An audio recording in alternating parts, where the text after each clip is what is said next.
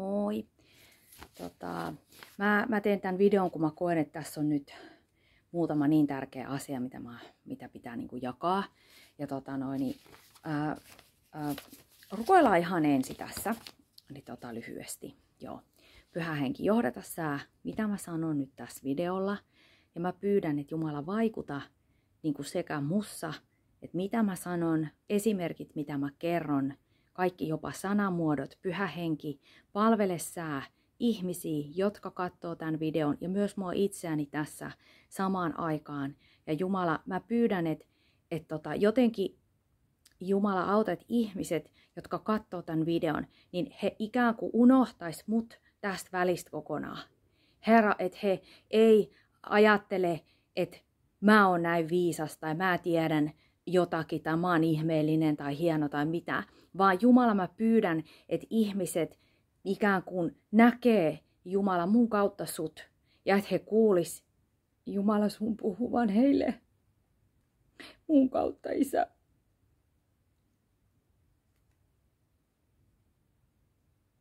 Ja Jeesuksen nimessäni, Jeesus, mä vangitsen Herra. Mä hajotan maahan kaikki järjen päätelmät. Omani ja kaikkien, jotka katsoo tätä videoa, niin kaikkien meidän järjen päätelmät, lihavarustukset, linnoitukset, kaikki mikä on nostettu Jumalan tuntemista vastaan. Mitkä on nostettu Jumala sun rakkauden vastaanottamista vastaan. Ja mä pyydän Jumala, että avaa ihmisten silmät, että he näkee sut nyt tässä ja että he kuulee sut. Avaa ihmisten korvat, että he kuul, avaa meidän kaikki mun ja, ja, ja, ja katsojien korvat, me kuultais Jumala, mitä sä puhut. Avaa meidän sydän, että me voitaisiin ottaa vastaan, mitä sä puhut. Ettei me Herra, se menisi ohi. Et, Herra, mä pyydän, sä tiedät, mikä tässä on Jumala, sun tarkoitus, niin että me kaikki, minä ja kaikki Herra, jotka tämän videon katsoo, niin me kaikki Jumala, me, me, saata, me saatais voitaisiin tarttua siihen ja saataisiin kiinni siitä, mitä sä yrität sanoa meille, Herra. Ja Herra, ettei tässä olisi anna tähän täydellinen rakkaus, koska täydellinen rakkaus karkottaa kaiken pelon. Pelos on rangaistusta. Että Herra, että ihmiset ja minä, eikä, eikä kuuntelijat, että ei voisi, kukaan ei kuulisi tätä sanomaa tai mitä, mä, mitä tässä mä nyt niin puhun tai mitä sä haluat puhua, niin ei kuulisi Herra väärällä tavalla, sillä tavalla, että että ikään kuin syyllistävänä tai tuomitsevana tai vaativana tai minkäänlaisena sellaisena, vaan Jumala, ota sä, ota sä pyhä henki ohjat Jeesuksen nimessä. Aamen. Sen tähden mä rukoilin tämän rukouksen, koska tota, mä itse kuuntelen tosi paljon näitä hengellisiä videoita tuolla internetissä tai tuolla YouTubessa ja, ja tota, Mä huomaan, että en, en osaa sanoa, että johtuuko se siis musta itsestä vai johtuuko se niistä puhujista.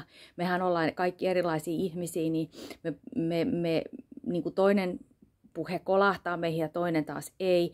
Ja, ja sen takia Jumala pistää niin kuin erilaisia ihmisiä puhumaan, erilaisia profeettoja puhumaan, erilaisia opettajia puhumaan, koska koska tota, meidän täytyy, tavallaan mä ainakin itse uskon tähän, että meidän täytyy jokaisen saada – kuulla se viesti tietyllä tavalla, että me pystytään ottaa vastaan.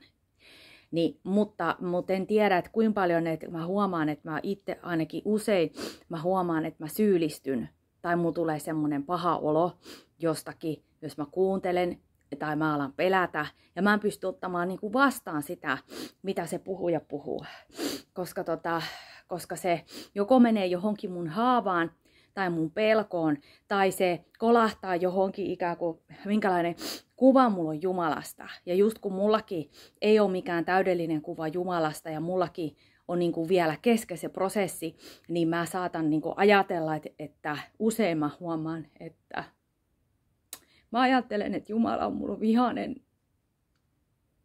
Ja että hän on muhun pettynyt. Ja että mä menetän tai missään jotakin mitä mä haluan.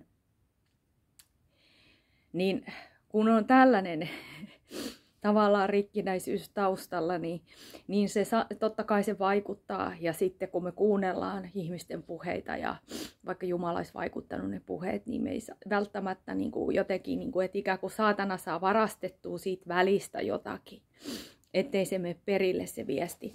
Mutta Jeesuksen nimessä niin Jumala, saa, pyhä henki, saa ainut, joka voittaisi auttaa sä autat meidän heikkouttamme Me ollaan kaikki tosi vajavaisia. Mutta kiitos Jumala, että sä saat viestin perille kyllä. Meillä jokaisella tavalla tai toisella. Okei. Okay. No niin, äh, tota, mä, mulla on nyt tässä useampi asia ja tota, itse asiassa mä, mä aloitan nyt siitä, koska tota, mä oikein, mulla on tota, niinku viittaus, mä haluan äh, tota, noin, kertoa yhden toisen henkilön videosta, niin Tämä on englanniksi, tämä löytyy YouTubesta. Ja tämän kanavan nimi on tämmöinen kuin Refined in the Fire. Ja tämä kirjoitet, on kirjoitettu kaikki niin kuin yhteen. Eli Refined in the Fire. Eli nyt näin, näin se kirjoitetaan. Refined in the Fire, kaikki yhteen kirjoitettuna. Sitten väli ja TV. Ja tota, on noin viisi päivää sitten julkaistu tämmöinen sana kuin prophetic word – sitten siinä on väliviiva ja semmoinen, ei semmoinen kenoviiva, vaan tämmöinen ihan suora viiva. Ja sitten siinä on, että God's creative process. Eli tota, Jumalan äh, ikään kuin luo, luova prosessi. Eli profet, profetaalinen sana, Jumalan luova prosessi oli tämä otsikko suomeksi. Ja kun hän tosiaan niin kuin, puhuu tässä, tämä siinä kuuluu niin kuin naisen ääni. ääni. Siinä, siinä ei hän, häntä itseään näy siinä videossa, siinä on jotain tämmöisiä videoi pyöri tai muuta, mutta hän puhuu siinä taustalla, niin tämä oli niin uskomaton, kun Jumala antoi mun tämän löytää, ja koska varmaan kaikki teistä ei ymmärrä englantia, niin mä haluan, niin kuin, enkä mä ota tästä kunniaa, mä en ot, siis kun mä nyt en edes tiedä, mikä tämän naisen nimi on, koska mun mielestä se ei käynyt ilmi siinä videolla, mutta tosiaan tämä kanava on Refind in the Fire TV, ja se ei ole, tämä ei ole siis mun sana, mä vaan nyt jaan tämän toisen henkilön, mitä Jumala oli hänellä puhunut, koska mä haluan tämän niin kuin, kertoa suomeksi, koska kaikki ei ymmärrä sitten taas sitä englanninkielistä, mitä siinä oli.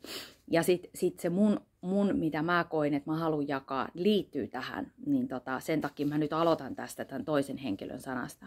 Hän oli lukenut varmaan sieltä ihan raamatun alusta vanhasta testamentista, onko se nyt sitten se ensimmäinen Mooseksen kirja, vai mistä sieltä, sieltä ihan kun raamattu alkaa, missä sanot, että alussa Jumala loi taivaan ja maan ja ja tota, tiedätte kaikki tämän, tämän ja voitte raamatusta katsoa, niin hän oli löytänyt, Jumala oli hänelle paljastanut sieltä semmoisen niin kaavan, tavallaan tämän luomisprosessin kaavan. Että hän sanoi, niin kuin, tämä oli ihan uskomaton, että tota, kun Jumala olisi voinut luoda kaikki, mitä täällä maailmassa on, heti siihen lopulliseen muotoonsa, täydelliseen muotoonsa, näin saman tien. Hän olisi voinut, koska hän on Jumala. Mutta sen sijaan hän valitsi, mun täytyy ha- hakea nenäliina pieni hetki.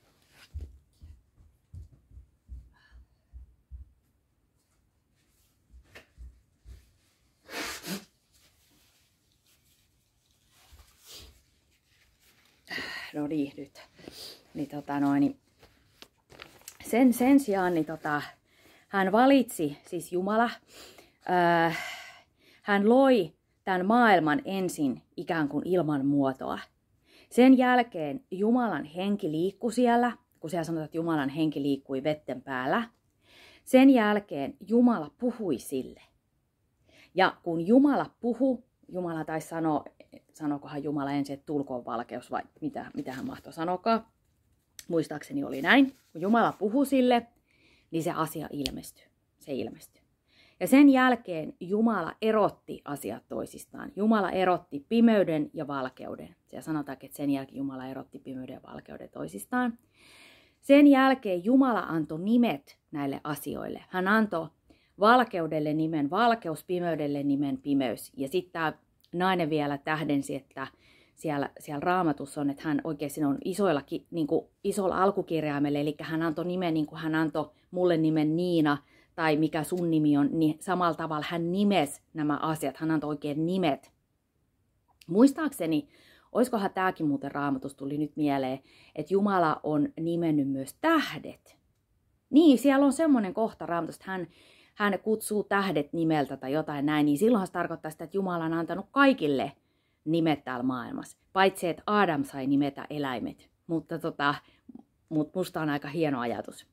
Sitten Jumala antoi siis nimet. Ja sitten sen jälkeen Jumala kutsui.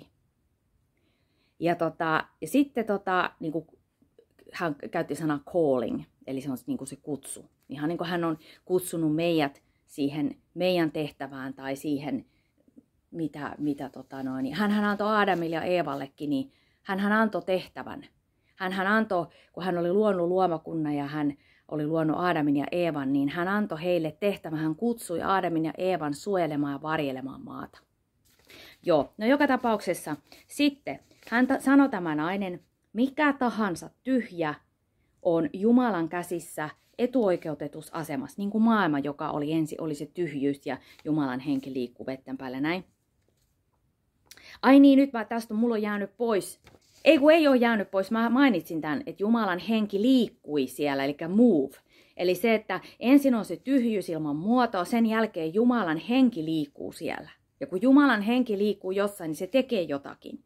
Sitten sen jälkeen, kun Jumala puhuu sille, niin ne asiat ilmestyy, ne tapahtuu. Ihan samalla tavalla kuin Jumala sanoi. Niin kuin siellä on monta sitten tällaista, Jumala sanoi, tulko se, Jumala sanoi, tulko tämä, Jumala loi. Niin ei Jumalan tarvitse sanoa ja ne asiat tapahtuu ja ne, hän, hän luo asioita puhumalla. Ja näinhän se on se raamatun kohta, niin, niin kuin tiedätte, että että et kun Jumala on sanonut, että minun sanani ei tyhjänä pala ja että kun minä lähetän sen, niin se tekee sen tehtävän, mitä varten minä sen lähetän. Eli näin valtavan voimakas on Jumalan sanoma sana. Okei. Okay. Ja sitten, juu, no niin, eli mikä tahansa tyhjä on Jumalan käsissä etuoikeutetussa asemassa, koska se ei voi pysyä siinä tilassa, kun Jumala siinä vaikuttaa, liikkuu siellä, puhuu sille, ilmestyy, erottaa asiat toisistaan, antaa nimen ja kutsuu, eli tämä luomisprosessi. Eli jos Jumala on tyhjentänyt sua ja on tyhjentämässä sua, sä oot etuoikeutetus asemassa, tämä on nyt mun lisäys tähän, koska siinä tilassa sä et voi pysyä muuttumattomana, vaan sä tuut muuttumaan, jotakin tapahtuu väistämättä. Ja sitten hän sanoi vielä, näin tämä nainen, Jumala ei luonut heti valmista muotoa, sitä lopputulosta, koska koska tota, siinä on niinku semmoinen kunnia, kauneus ja seikkailu niissä askelissa kohti tätä päämäärää. Mä sanon tämän uudelleen. Jumala ei luonut heti valmista muotoa, koska siinä on kunnia ja kauneus ja seikkailu niissä askelissa.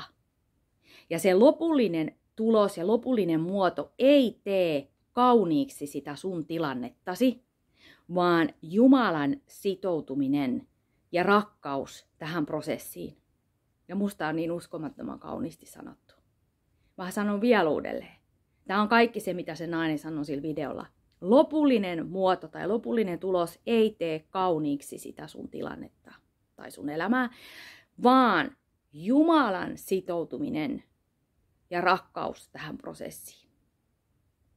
Ja mun mielestä tämä on ihan uskomattoman kaunis. Tämä oli nyt se, mitä se nainen jako. Ja jos haluatte itse katsoa, tämä on joku neljän minuutin video vaan. Ja tämä on niin, kuin niin tiivisti pakattu tämä, tämä, tämä sanoma siihen, mutta on niin kuin täynnä tämmöisiä arteja helmiä. Et, eli se oli tällaisessa videolla, kun, kun tota, se kanava oli tämmöinen kuin Refined in the Fire, eli onko se nyt että puhdistettu tulessa suomeksi, TV, ja sitten Prophetic Word, God's Creative Process.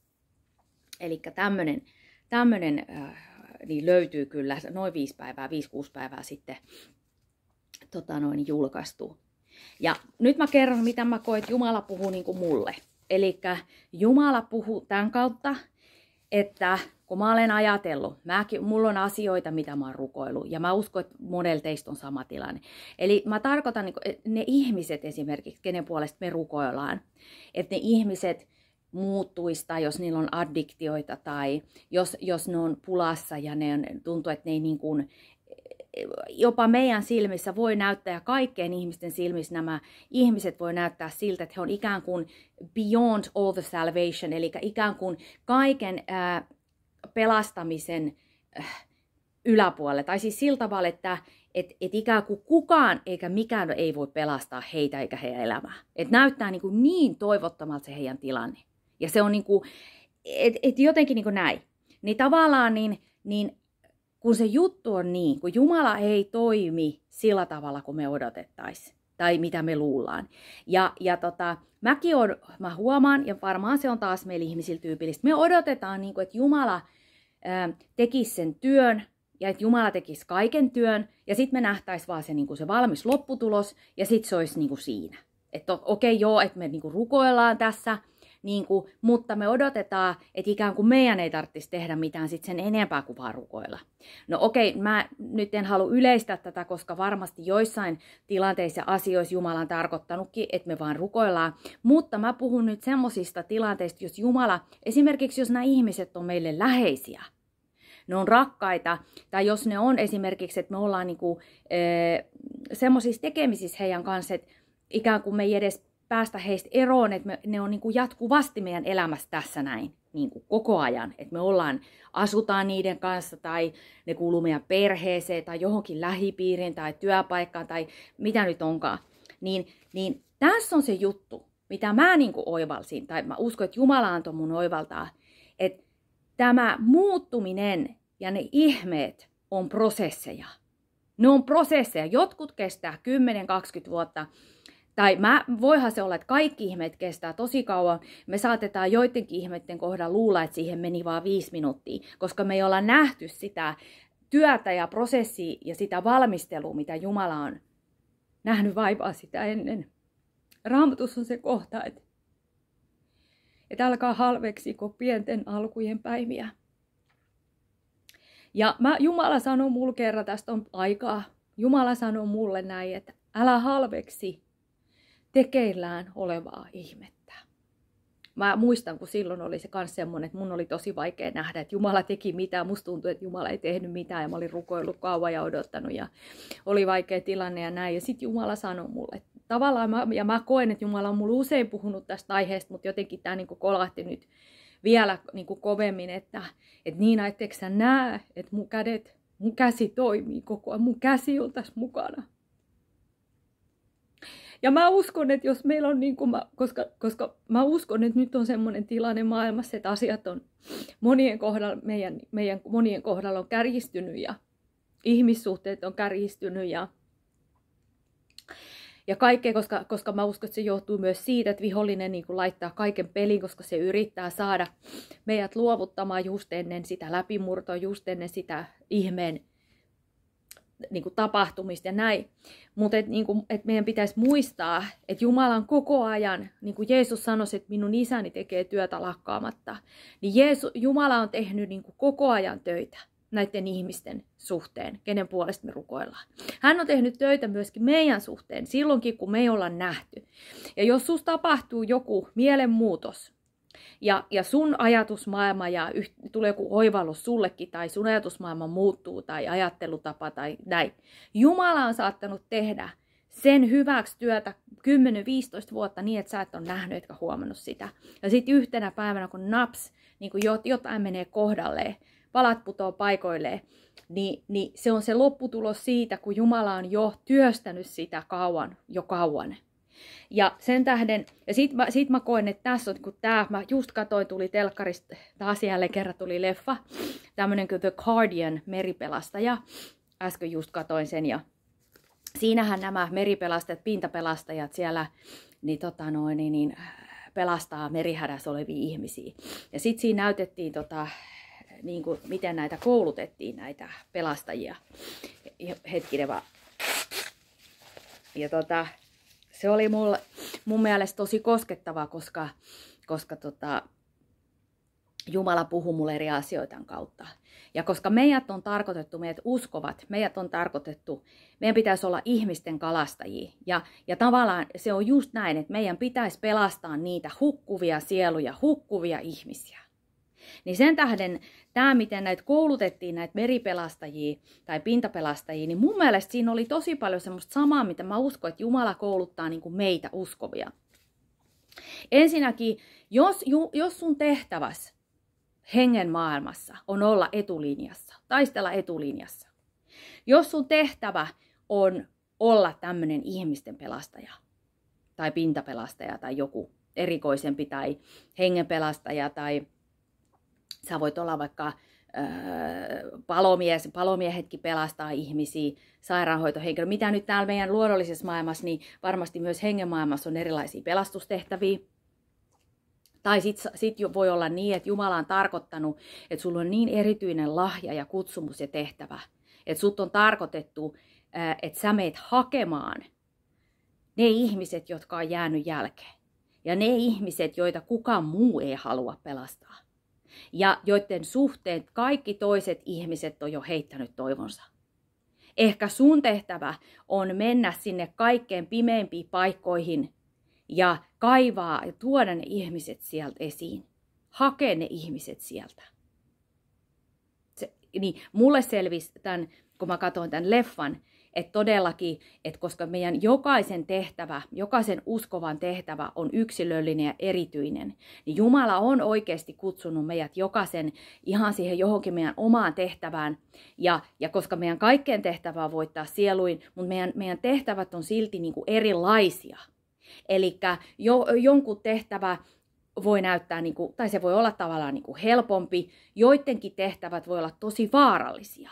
Joidenkin tehtävät voi olla täynnä niin kuin seikkailu, joidenkin tehtävät voi olla ikään kuin, voi vaikuttaa aika semmoisilta puuduttavilta ja muuta, mutta siinä on kuitenkin siunaus.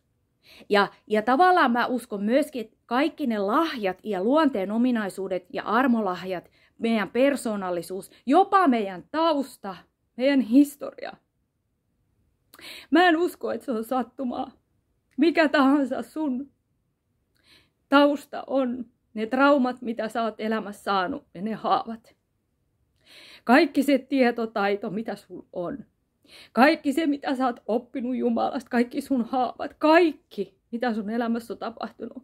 Sun vahvuudet, sun heikkoudet, ne palvelee vaan yhtä tarkoitusta. Sitä, mikä on sun tehtävä täällä maailmassa. Jumala on ottanut kaiken huomioon ja Jumala tulee, jos sä annat hänelle vapaat kädet ja sanot hänelle kyllä.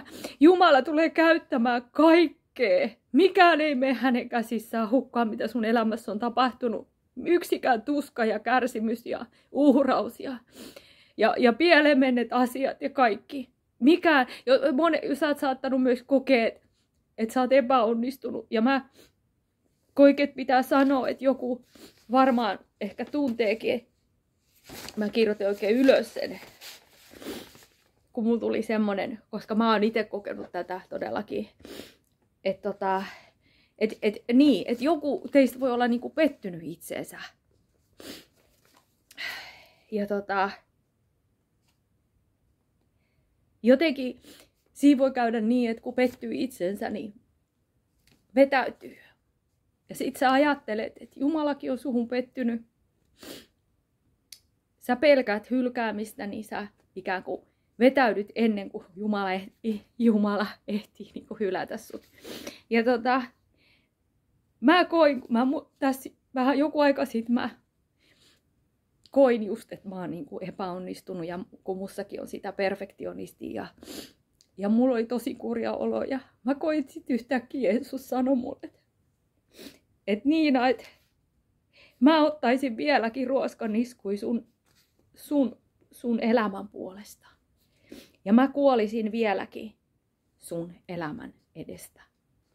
Ja mä koen, että Jeesus tarkoitti sitä, että vaikka se mun elämä näyttää nyt tältä, että vaikka mä oon tosi pettynyt mun elämää ja itseeni ja, ja, ja, ja mä koen, että mä en ole onnistunut ja mä, mä oon niin kuin jotenkin pettänyt niin kuin Jumalankin ja näin, niin Jeesus sanoi, että vieläkin että hän näkee, hänen mielestään mun elämä on niin tärkeä ja arvokas, hän vieläkin, eihän hänen tietenkään enää tarvitse kuolla, kun hän on jo kerran kuollut, mutta hän, vaikka se näyttää tältä, miltä mun elämä nyt näyttää, niin hän kuolisi vieläkin mun, mun, mun puolesta. Hän näkee, että mun elämä on vieläkin kuolemisen arvoinen. Ja, ja tota, sitten mulla tuli semmoinen ajatus, että Jumala rakastaa ehkä erityisesti perfektionisteja koska, tota, koska meillä on niin vaikeaa, koska me, meidän, meidän tota, äh, tavoitteet ja odotukset on niin tä, jossakin täällä. Ja eihän me koskaan pystytä niitä täyttämään. Ja sitten kun me, koska me aina kuitenkin elämässä tullaan epäonnistumaan ja meidän, tä, meidän suoritukset ei ole täydellisiä, niin, niin tota, et jotenkin, että sitten menee niin kuin ihminen menee siinä, kun pettyy, kun ei, ei, ei pysty niin kuin näitä omia odotuksia täyttämään ja sitten kokee, että on pettynyt itsensä, niin menee niin kuin ikään kuin niin kuin lukkoon ja niin kuin sulkeutuu. Ja, ja tavallaan mullakin usein sitten, että mä ajattelen, että mä en tee sitten niin enää mitään, että ihan sama sitten, niin kuin näin. Ja tota noin, niin niin mä uskon, että et, et, et Jumala niin kuin rakastaa erityisesti meitä perfektionisteja. Ja, ja tota, mä, mä uskon, että me saadaan niin kuin levätä Jumalan rakkaudessa. Että me saadaan niin kuin levätä. Että Jumalan rakkaus on niin kuin jotenkin se, että se niin kuin ikään kuin se ympäröi meidät ja se syleilee meitä. Tai ikään kuin enkelin siivet tulisi niin kuin meidän ympäri. Niin se peittää ne meidän aukkokohdat ja ne meidän niin kuin, äh, vajavaisuudet. Ja sitten sit mä mietin, sit toinen jo tosiaan, kun tässä, tässä leffassa, kun, kun tosiaan oli tämä, tämä tota, The Guardian meripelastaja, niin kun niitä koulutettiin, niitä miehin oli miehiä, ja tota, sitten mä uskon, että monesti, tai siis miespuoliset katsojat varmaan ymmärrätte sit vielä paremmin, koska siinä oli aika paljon semmoista vähän armeijameininkiä, jotta te, jotka olette ollut armeijassa, niin että taas niinkään sitten kun naisilla ei, ei tota, ole niin paljon kokemusta siitä armeijasolosta, niin ei tiedä, tiedetä niin paljon niin kuin tätä systeemiä, mutta kuitenkin niin, niin tota, siinä oli niin tämä, mitä mä huomasin, että et, et, kun mä samaistin, että se on samanlaista, miten Jumala kouluttaa meitä, että Jumala karaisee meitä. Niin kuin siinä koulutuksessa, niin niiden piti oppia, että mitä ne tekee, jos ne on tosi kylmässä merivedessä ja sitten hypotermia uhkaa. Mitä, mitä, ja mitä kaikkea pitää kestää ja sietää. Ja et, et, sitten sit, sekin, että jos kun pelastaa ihmistä vedestä, niin hukkuva ihminen hän saattaa rimpuilla ja takertua siihen pelastajaan, että mitä sitten tehdä, että voi olla, että täytyy lyödä tajuttomaksi se pelastettavat, jotta voi sen pelastaa tai jotakin. Ja tota, sitten sit siinä oli sekin, että kun he, he oli niinku ryhmä, tiimi, niin sä et voi ajatella niinku itseäsi vaan. Jos sä, oot, jos sä oot, kun me ollaan etulinjassa, ja jos me ollaan tämmöisissä vaarallisissa vaikeissa tehtävissä, mihin Jumala meidät lähettää, niin me ei voida al- alkaa ajatella itseämme. Me ei voida ajatella, miltä meistä tuntuu ja, ja toi nyt loukkas mua ja, ja voi voi, vaan, vaan meidän täytyy keskittyä siihen tehtävään. Koska se, sitä varten Jum, Jumala siis, tai mä yritän sanoa niin kuin positiivisesti, koska mä oon niin herkkä, että mulla täytyy sanoa aina niin kuin tietyllä tavalla asiat itsellenikin, niin se juttu on niin, että kun Jumala niin kuin tarvii sua, Jumala tarvii just sua ja Jumala tarvii just mua. Ja hän, on, hän tarvii meitä just niihin erityisiin, spesifisiin tehtäviin, mihin hän on meidät kutsunut ja tarkoittanut. Mitä varten hän on itse asiassa meitä valmistanut koko meidän elämän ajan jo valmiiksi. Mutta se on meistä kiinni, tartutaanko me niihin, koska ei Jumala tee mitään väkisin, niin tota, sanotaanko me hänelle kyllä. Ja jos me ei tehdä niitä tehtäviä, niitä erityisiä, mihin Jumala, niin me, ja ni, mennä niihin paikkoihin, mihin Jumala just meidät lähettää, niin sinne ne jää tekemättä. Sinne ei voi lähettää ketään muuta, koska on tilanteita ja paikkoja ja on ihmisiä, joiden luo Jumala voi lähettää vaan meidät, joiden luo hän voi lähettää vaan mut, joiden luo hän voi lähettää vaan sut. Koska hän on antanut meille tietynlaiset avaimet, mulle ja sulle, jotka avaa niitä lukkoja niiden ihmisten sydämessä. Ja voi olla, että joku ihminen, joku tietty ihminen rakastaa vaan sua. Ja, ja se tekee esimerkiksi sulle mahdolliseksi sanoa ja tehdä sillä ihmisellä asioita, mitä Jumala on tarkoittanut tehtäväksi, niin että se pystyy ottamaan vastaan ne. Mutta se ei pysty ottamaan niitä keneltäkään muut vastaan. Ja Jumala on, tai sitten jos sulla on samanlainen elämän, elämän kokemukset ja tausta kuin jollain toisella ihmiselle, niin Jumala voi lähettää sut sen ihmisen elämään, koska teillä on sama kieli, teillä on sama tausta, ja hän pystyy ottamaan ne jutut, sen rohkaisun ja mitä Jumala haluaa, että sä sanot hänelle, niin vaan sulta vastaan. koska hän tietää, että sä tiedät, miltä hänestä tuntuu. Eli täs, tässä näkyy se, kuinka tärkeitä me ollaan ja kuinka tärkeä meidän jokaisen tehtävä on.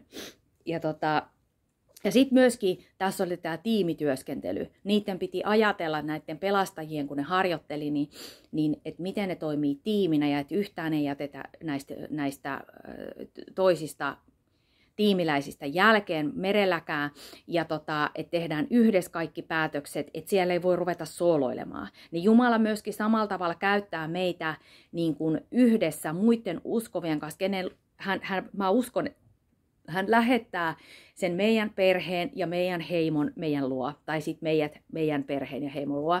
Mutta kuitenkin, että et, et me voidaan tehdä, työskennellä niiden ihmisten kanssa, kenen kanssa Jumala on meidän tarkoittanut työskentelevän.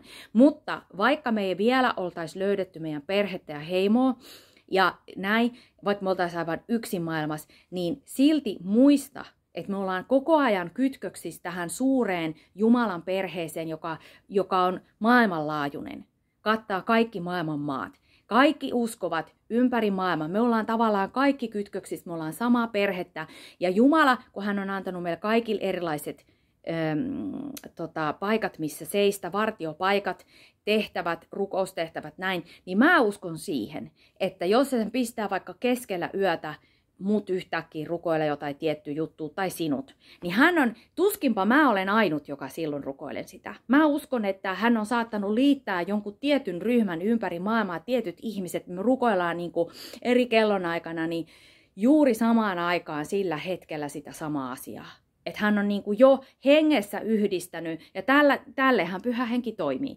Eli myöskään muista sä et ole yksin, ja kun sä tarvit tukea ja apua, niin vaikkei sulla olisi yhtään ystävää, Jumala voi pistää rukoilemaan kenet tahansa sun perheestä, tästä meidän Jumalan perheestä, yhteisestä perheestä, rukoilemaan sillä hetkellä, vaikka toisella puolella maailmaa hän voi herättää jonkun keskelyötä, vaikka rukoilemaan kielillä, niin ettei se edes tiedä, että se rukoilee sun puolestasi, mutta kun pyhä henki tietää, niin kyllä Jumala huolehtii niin kuin meistä ja meidän tarpeista, kun me tarvitaan rukousapua ja tukea. Ja sitten tota, sit, sit tuli tämäkin vielä mieleen tosiaan, että kun, kun sä olet työskentelet tiimissä tai kun sä oot etulinjassa tai tämmöisissä vaarallisissa tehtävissä, niin sun täytyy tosiaan muistaa asioiden tärkeysjärjestys. Eli tärkein tärkeintä on tosiaan se tehtävä, tehtävä, mitä sä teet. Ja se, että se, sä saisit pelastettua sen ihmisen. Ja mä uskon, että tota, ää, meidän, meidän kannattaa niin kuin, meidän, että me, me, me, me, meidän kannattaa kuunnella mahdollisimman paljon, koko ajan olla niin kuin herkällä mielellä kuulolla, että mitä pyhä henki neuvoo ja sanoo meille. Että jos hän sanoo, että älä mene sinne vielä, niin älä mene sinne vielä.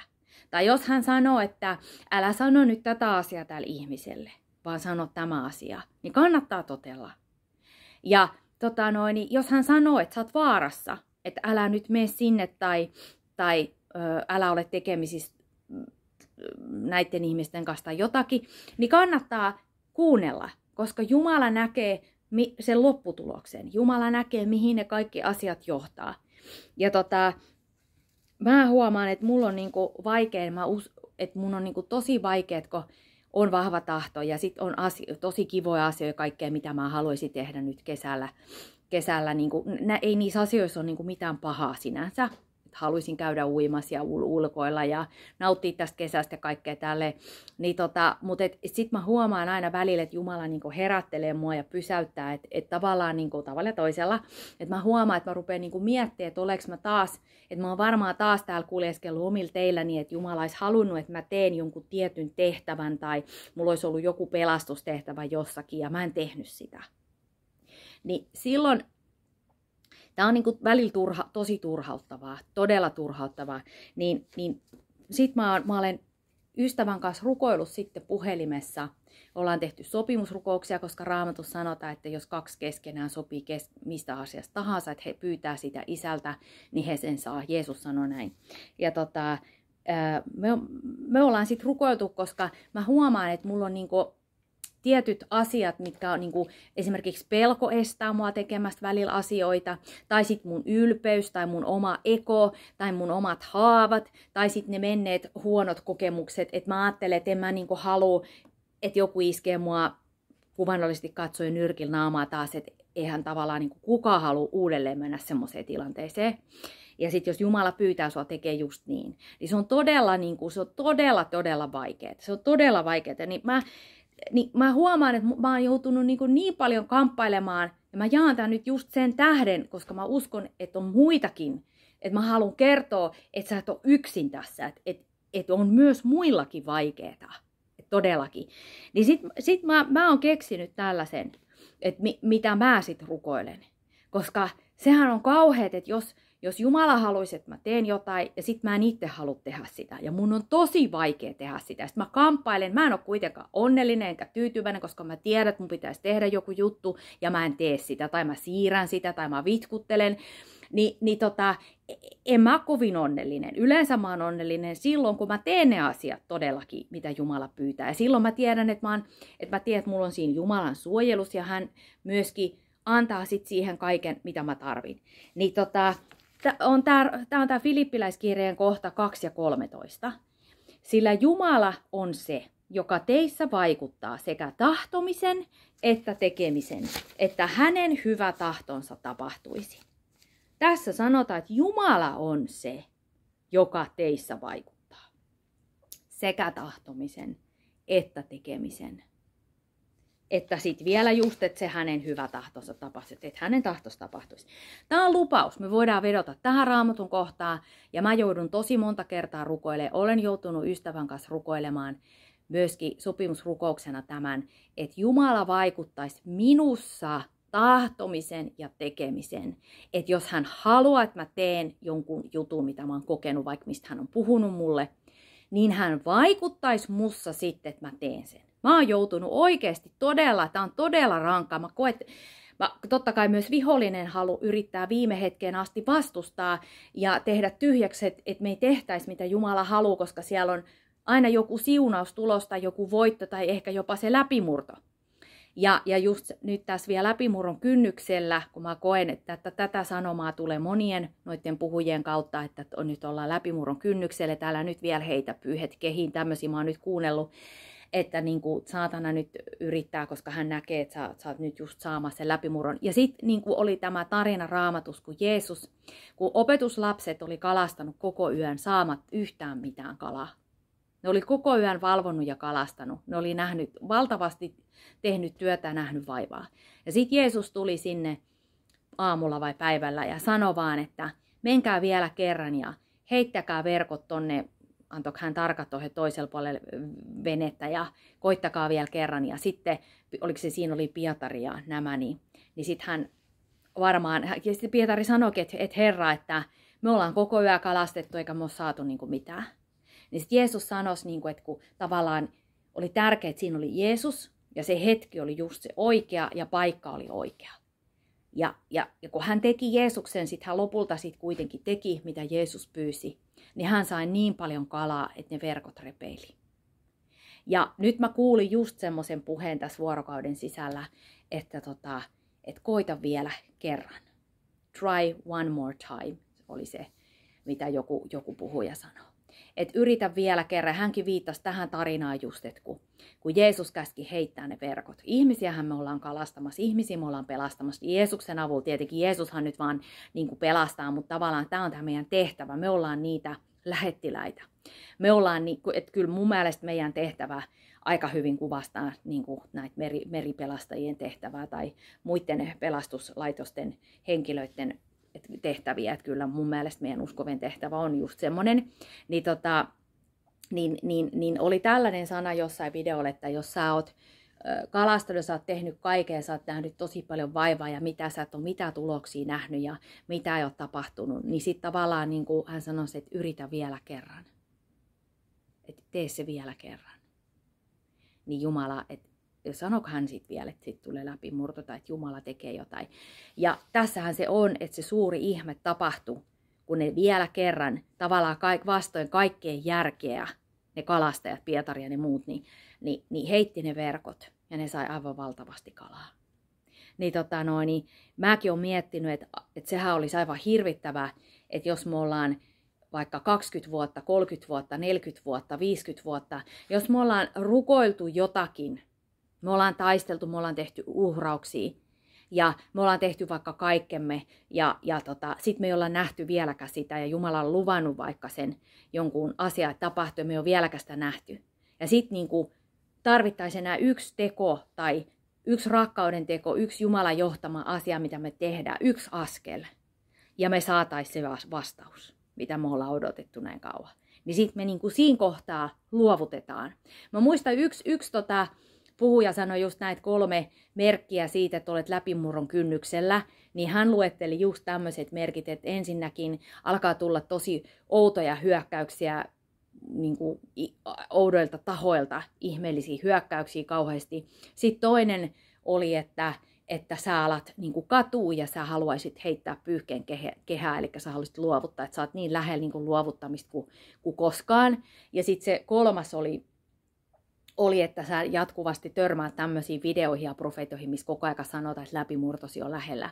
No, tämä ainakin ko- kolahti kyllä minuun, ja tota, mä uskon, että varmasti moni muukin on tällaisessa tilanteessa, koska sodankäynti on, on, on, on tota, tullut niin kuin kovemmaksi ja muuta, et, tota, noin, ja vihollinen heittää niin kuin kaiken, mitä sillä on, koko arsenaalinsa, niin, tota, noin, niin, mutta niin kuin, mä haluan niin kuin, ja itse asiassa me voidaan niin kuin rukoilla tätä, että Jumala vaikuttaisi meistä tahtomiseen ja tekemiseen, että hänen se hyvä tahtos tapahtuisi, että hänen suunnitelma toteutuisi, että, että, ne meidän, että me saadaan ne läpimurrot, mitkä hän, hän haluaa meillä antaa. Ja meidän ei kannata niin kuin vello eikä jäädä sinne meidän epäonnistumisia, jäädä niin kuin suremaan ja miettimään sitä, että miksi me ei tehty niin ja voiko mä olisin tehnyt toisin jotakin, vaan, vaan nyt me voidaan tästä eteenpäin, me voidaan nyt niin kuin, ikään kuin nollata se mennyt ja tästä eteenpäin jatkaa niin kuin, tota noin, niin, niin.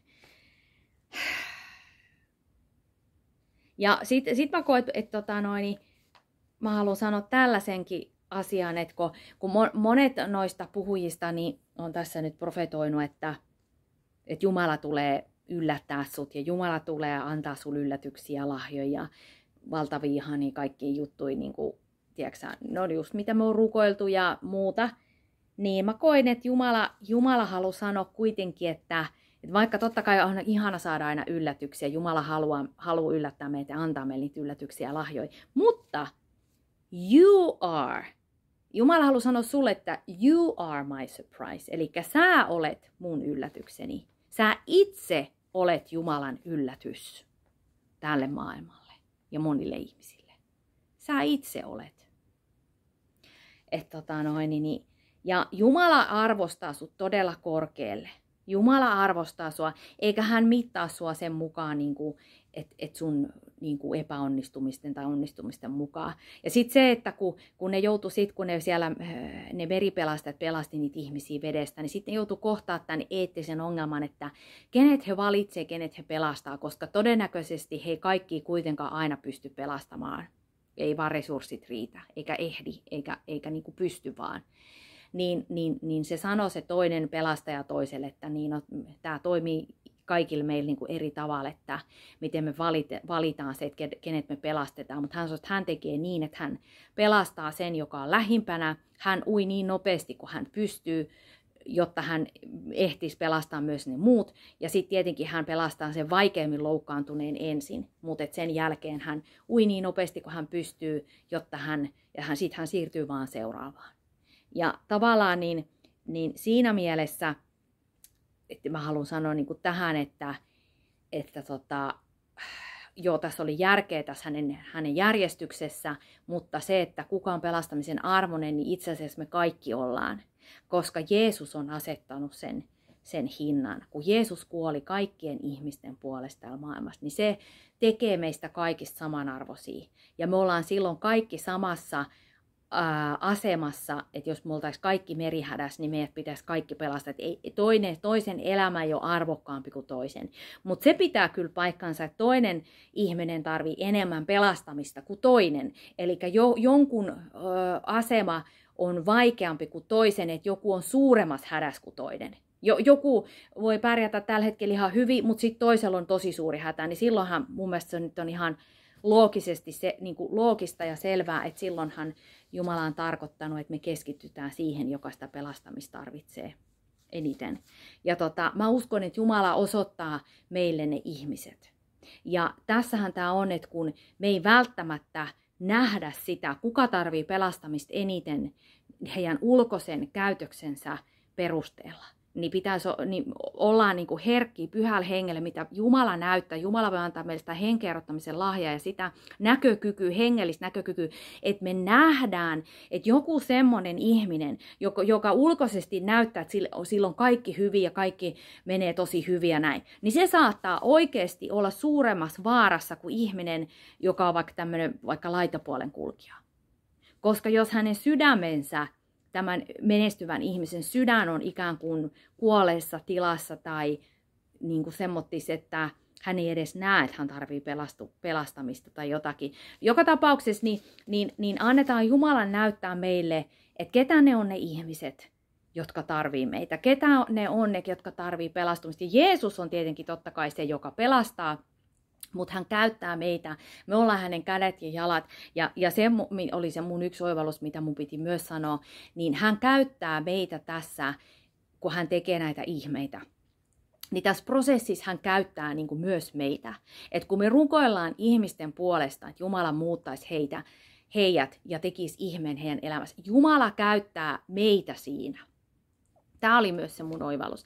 Että ei hän niin tee sitä silleen, että joo, että mä täällä vaan odottelen ja sitten hän muuttaa sen ihmisen ja hoitelee sen ja, ja sitten sit hän tuo valmiin tuloksen näin mulle, vaan kun, koska tämä nainen oli sanonut tässä videolla just, että se kauneus on siinä, miten Jumala on sitoutunut tähän prosessiin, tähän ihmeeseen ja, ja niissä askelissa ja miten hän toimii niin kuin kaiken kautta, mitä tässä tapahtuu, niin silloin hän toimii myös meidän kautta, hän toimii sen toisen ihmisen kautta.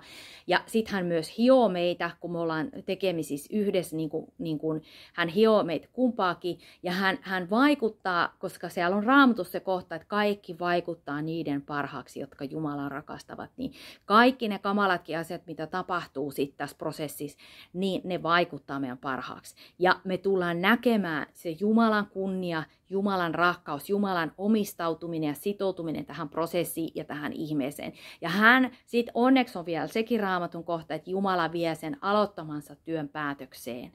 Tämä on raamatus oleva tämä ajatus, nyt sanamuoto ei ole näin, mutta mut, mut se löytyy kyllä raamatusta, niin hän vie, ja hän, Jeesus on myös uskon alkaja, ja hän on uskon täyttäjä. Mun mielestä se tarkoittaa se uskon täyttäjä sitä, että, että se mitä me uskotaan, niin, niin, niin, tota, niin se tapahtuu että se täyttyy ja tapahtuu, mitä me uskotaan. Niin tota, joka tapauksessa, niin, niin, eli meillä ei ole hätää. Mä, sen mä haluan, haluan sanoa, kun mäkin olen niin paljon murehdin välillä, että apua ja, ja, ja, ja, ja miksi mä en nyt pysty tekemään, kuita on näin vaikeaa ja näin ja näin, niin, tota noin, niin, niin rukoillaan nyt yhdessä niin kuin meidän kaikkien mun puolesta ja teidän puolesta ja tota, jätetään Jumalalle nämä asiat ja tota noin, niin, niin muista, että sä oot niin kuin tärkeä ja kukaan muu ei voi tehdä niitä juttuja, mitä Jumala on tarkoittanut, että sä teet. Että sua tarvitaan. Ja sua tarvitaan siinä pelastustiimissä, mihin Jumala on sut tarkoittanut. Sä oot ihan oleellinen ja ehdoton osa sitä. Ehkä sun tehtävä on ö, rohkasta, olla semmonen, joka saat sun, sul voi olla la, semmoinen lahja, että kun ihmiset on sun seurassa, sä saat ihmiset ylittämään itsensä.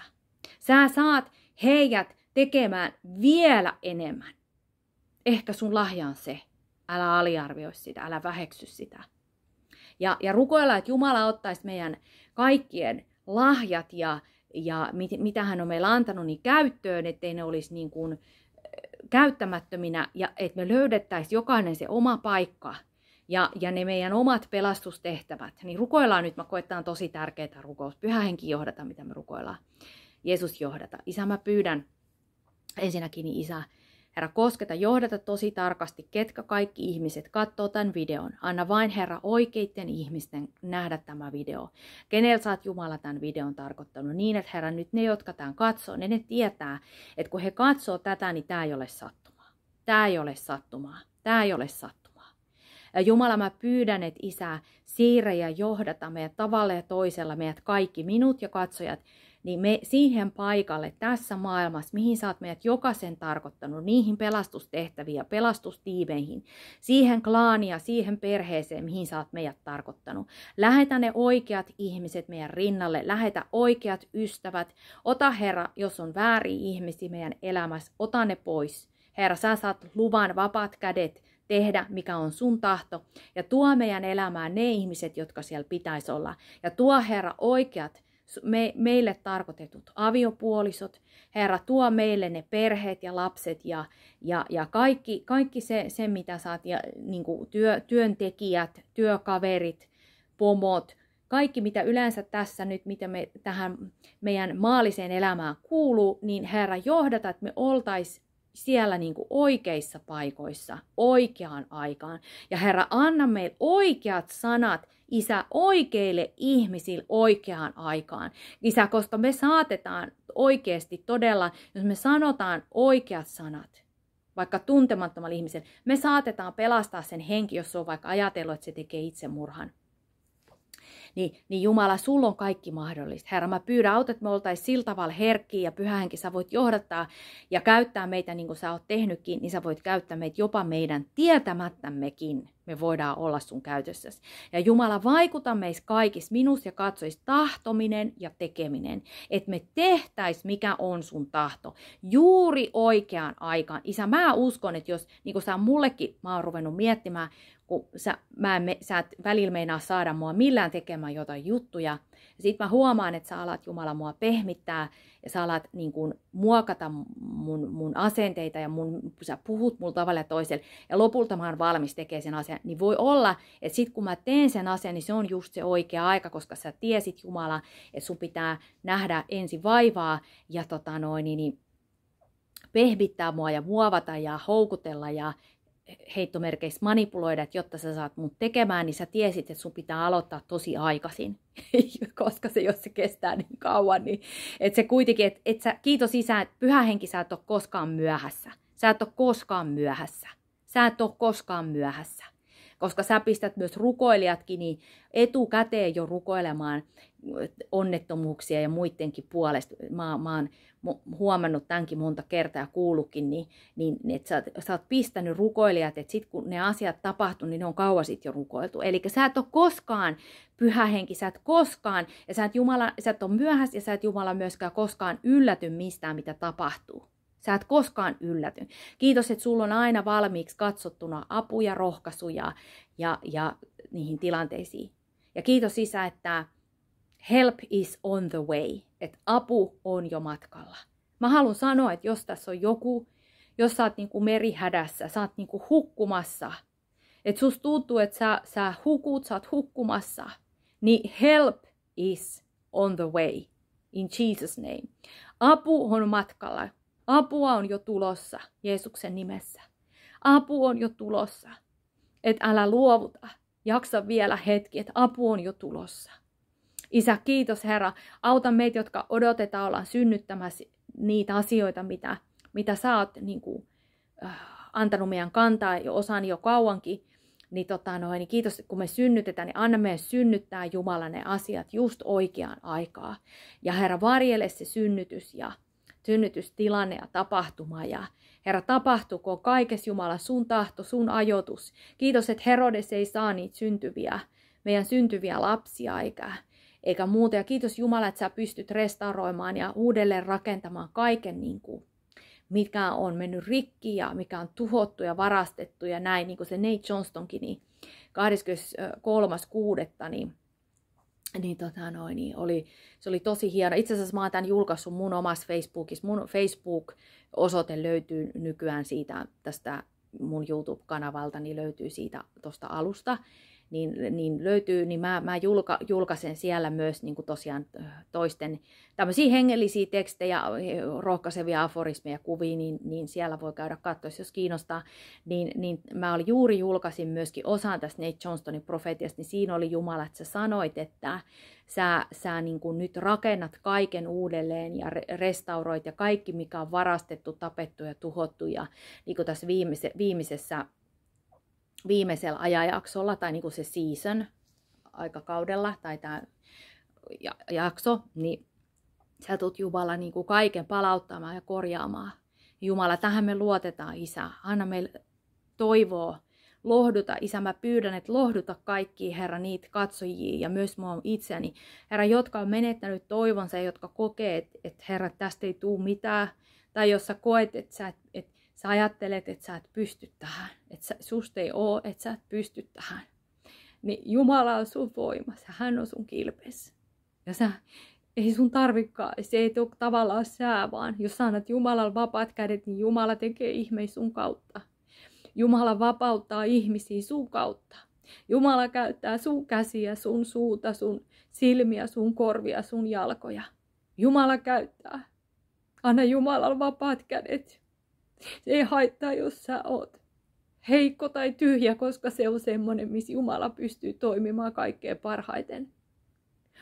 Kera de shirto pasiento. Keer, alelahanto.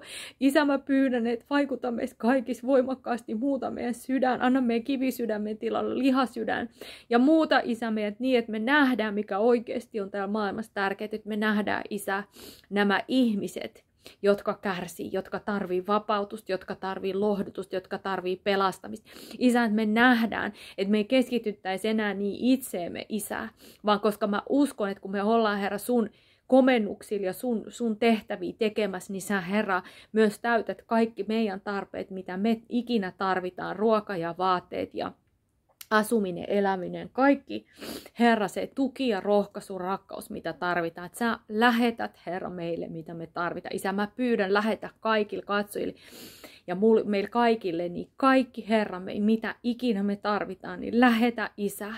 Mutta lähetämme ed- ennen kaikkea enkelit meidän edellä, Herra, raivaamaan meille tie, ja että me kuljetaan sitä, johdat, tietä, mitä sä oot meidät tarkoittanut, että me kuljetaan ja johdata meidät sun nimestä tähden. Jos me ollaan väärällä tiellä, niin johdata meidät oikealle tielle nimestä tähden. Isä, ja vaikuta meissä voimakkaasti tahtominen tekeminen, Isä, että sun tahto tapahtuisi ja että me ei ikään kuin edes vahingossa voitaisiin tehdä, tehdä väärin tai valita väärin, vaan se lopputulos olisi just se, että me tehdään just se, mikä on sun tahtos, Isä. Varsinkin näissä nyt, Herra, näissä akuuteissa asioissa, kysymyksissä, tilanteissa, mitä tällä hetkellä on meidän elämässä Jeesuksen nimessä. Ja Jumala, anna meidän kaikkien saada se meidän oma läpimurto, se mitä me ollaan odotettu eri asioissa, että me kaikki saadaan, Herra, se mitä sä oot meille luvannut, mitä sä oot puhunut. Kiitos, että saat meidän toivo ja sun henkes liikkuu, Herra, tämän sekasorron ja kaauksen keskelläkin ja se muuttaa asioita. Ja Jumala, kun sä puhut, niin ne asiat tapahtuu. Ja sun sana se ei tyhjänä palaja, Isä. Kiitos, että sä, Herra, ää, niin kuin, sä teet uudeksi kaikki. Sä teet, se on raamatusta, että katso uudeksi minä teen kaikki. Katso uudeksi minä teen kaikki. Kiitos Isä, Jeesuksen nimessä Isä. Vapauta meidät saatanan valheista, vapauta meidät loukkaantumisesta. Jeesus, me luovutaan taas tässä nyt loukkaantumisesta Jeesuksen nimessä. Me annetaan anteeksi Herra kaikille, jotka on meitä vastaan rikkonut.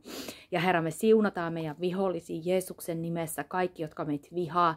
Jeesus, kiitos, että rauetko tyhjiä kaikki vihollisen aikeet, Herra, meitä vastaan, mitä se yrittää meitä tuhota, ja meidän rakkaitakin vastaan. Jeesuksen myös rauhatko kaikki saatanan teot tyhjiä, ja paljastuko kaikki sen ovelat juonet, niin että Herra, kaikki tulee valoon Jeesuksen nimessä, ja johdata meitä, ja neuvo meitä, ja vaikuta tahtominen tekeminen, ja puhu meille, ja avaa meidän korvat, ja avaa meidän silmät, että me nähdään, Herra, sut, sun käteesi, ja me nähdään, missä liikut, ja mihin, missä meidän pitäisi olla, ja mitä meidän pitäisi tehdä, ja Herra, että me ei tehtäisi sitä pakosta, vaan sä voit vaikuttaa, että me mielellämme, me halutaan tehdä ne asiat. Ja sä tiedät, miten motivoida meidät. Me ollaan kaikki erilaisia, meidän pitää motivoida eri tavalla. Mutta Jumala, Herra, mä, Herra, mä uskon, että et, et sä haluat sanoa nyt, Herra, ihmisille, että sua tarvitaan. sua tarvitaan. Jeesus tarvii sua. Jeesus tarvii sua. Just nyt. Hän tarvii sua nyt. Just sellaisena kuin sä oot just nyt. Sun ei tarvi yrittää olla erilainen tai, tai muuttuu, että Jeesus voisi sua käyttää. Hän tarvii sua just nyt. Hän tarvii sun lahjojas, hän tarvii sun kapasiteettias, hän tarvii sua. Jeesus tarvii sua. Jeesus tarvii sua. Saaks hän vapaat kädet? Sanoksa hänelle kyllä? Me voidaan monta kertaa me luovutetaan välillä, mä, niin kuin minäkin kaadun maahan luovutan. Mutta sittenhän mä oon aina, jos mä oon nyt tässä näin, mähän on aina va- jatkanut uudelleen matkaa. Niin mä mietin, että mitä töiksi sen mun luovuttamisen, koska tavallaan mä en olekaan luovuttanut. Jos mä ensin luovutan, mä kaadun maahan, no sit mä päätänkin jatkaa matkaa, nousen, niin tavallaan mä en olekaan, että jos mä oon yhden kerran luovuttanut, niin sit mä oon taas yhden kerran, mä en ole antanut periksi, niin ne niinku, onko se niin, että ne niinku mitätöi toisensa? Eli muista sekin, että jos säkin oot monta kertaa luovuttanut, niin kuitenkin, ja jos säkin katsot nyt tätä videoa, niin mä luulen, että sä et ole luovuttanut. Sä et ole luovuttanut. Sä, sä et ole luovuttanut. Sä et katsois muuten tätä videoa. Jumala haluaa puhua sulle. Hän haluaa palvella sua. Hän haluaa parantaa sun särkyneen sydämen. Hän haluaa antaa sun, mitä sun sydämessä halajaa. Koetelkaa kaikkia. Ja tota, Jumala olkoon tässä sun rakkaus. Isä olkoon tässä sun rakkaus. Ettei olisi Herra mitään pelkoa. Herra, karkottako sun rakkaus kaikke, kaiken, kaikki pelko, että kaikki pelko katoaisi, koska täydellinen rakkaus karkottaa peroni. Herra, karkottako sun rakkaus nyt ihmisten kaikki pelot Jeesuksen nimessä. Olkaa siunattuja Jumala kanssanne ja, ja tota, Jumalaan sä voit luottaa. Vaikka sä et vois kehenkään ihmiseen luottaa, niin Jumalaan sä voit luottaa. Että luotaksä häneen silloinkin, kun sä et ymmärrä. Että luotetaanko me hänen silloin, kun me ei ymmärretä, mistä on kysymys, mitä tapahtuu. Häneen voi luottaa silloinkin. Olkaa siunattuja.